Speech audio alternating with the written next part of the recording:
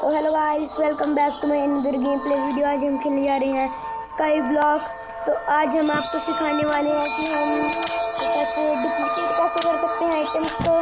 तो ये देखिए कि आज हम आइटम्स को डुप्लीकेट कैसे कर सकते हैं। ये मेरा बहुत बड़ा फ्रेंड है। इसको मैंने स्काई ब्लॉक में बनाया फ्रेंड तो चलिए वीडियो को स्टार्ट करते हैं। हमें चेस्ट चाहिए सबसे पहले। एक अब चेस्ट लेना भाई, ये देखो मैंने एक शॉप खोली हुई है।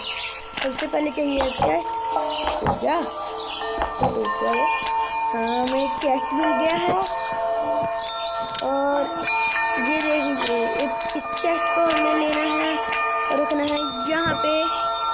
तो ग्रास ब्लॉक पर रखना है सॉरी ये देखो ग्रास ब्लॉक पे ये तो पॉपी है। ग्रास पर रखा चेस्ट अब आपको नेट ऑफ़ करना है। नेट ऑफ़ किया इसको क्लिक करना तो फिर से दो बार क्लिक करना इसको ऐसे करना फिर ये दोबारा देना ठीक है? तो वैसे जो चीज़ डालोगे आप, वो ऐसे हो जाएगी बीच में। अब आपको गेम एग्जिट कर देनी है।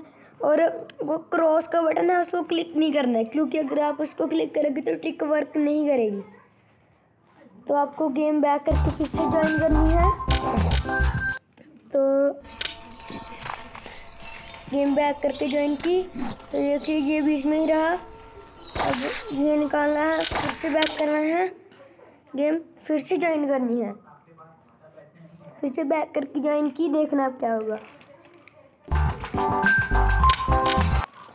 ये बैक करके ज्वाइन की। और देखिए हमें मिल चुकी है।